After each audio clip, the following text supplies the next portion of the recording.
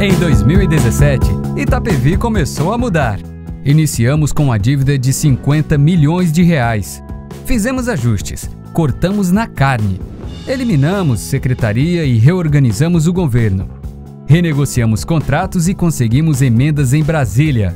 Foi um trabalho árduo, feito sem alarde, com seriedade. E deu certo! Arrumamos a casa e criamos as bases para que a cidade voltasse a orgulhar todos os itapevienses. Mais do que isso, fomos além e fizemos muito, mesmo com todas as dificuldades. Estamos terminando o piscinão do Vitápolis para acabar com as enchentes no bairro. Pavimentamos diversas vias no setor A da Coab. E também demos início ao Cidade Bela e ao Cidade Bela no seu bairro para deixar nossa cidade mais bonita e mais limpa. Ah, e você sabe o que aconteceu com aquela passarela feia em frente à estação, né? A prefeitura também avançou na educação. Começamos a implementar o sistema SESI de ensino, com qualidade reconhecida em todo o país. Criamos o programa Recreio nas Férias, com atividades culturais e esportivas gratuitas nas escolas.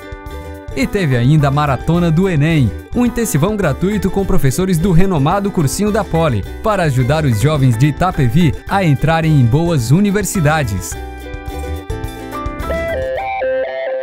Na saúde, a prefeitura não deixou por menos. Inauguramos o serviço de ultrassonografia, o seu, para zerar a fila do exame. O Pronto Socorro Central também recebeu diversas melhorias. Foram instalados 46 aparelhos de ar-condicionado, 20 câmeras de segurança e um novo sistema de acesso para agilizar o atendimento. Além disso, lançamos a unidade móvel de odontologia, que está oferecendo atendimento odontológico a 27 mil alunos da rede municipal. E estamos zerando a fila de oftalmologia. Foram 7.200 exames realizados no ano passado, contra 4.400 em 2016. 2017 também teve 11 mutirões contra a dengue. A prefeitura combateu de verdade o Aedes aegypti, com 18 mil casas visitadas em toda a cidade. E teve mais, muito mais. A Prefeitura reforçou a atuação da Guarda Civil, com 5.300 ocorrências atendidas em 2017, contra 4.000 em 2016. A Praça 18 ganhou o Festival IT, uma atração mensal, gratuita, para oferecer mais entretenimento aos itapevienses. Também apostamos na cultura, com 3.800 alunos nas escolas municipais de artes, dança, música, teatro e circo. Foram 2.400 a mais do que o ano anterior. E a população se jogou de cabeça nas 21 modalidades gratuitas do programa Mais Esportes. Sem contar o aniversário da cidade, com público de milhares de pessoas, realizado em parceria com a iniciativa privada, sem custos para a prefeitura.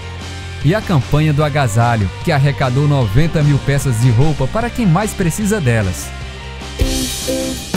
Como a prefeitura conseguiu tudo isso? Tudo isso foi conquistado graças a muito trabalho e planejamento, e com o apoio de toda a população.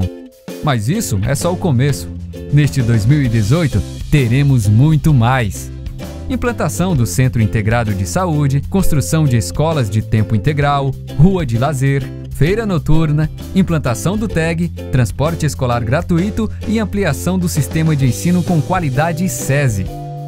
Itapevi ganhará a Romu. A Guarda terá uma nova frota de veículos e a saúde mais ambulâncias.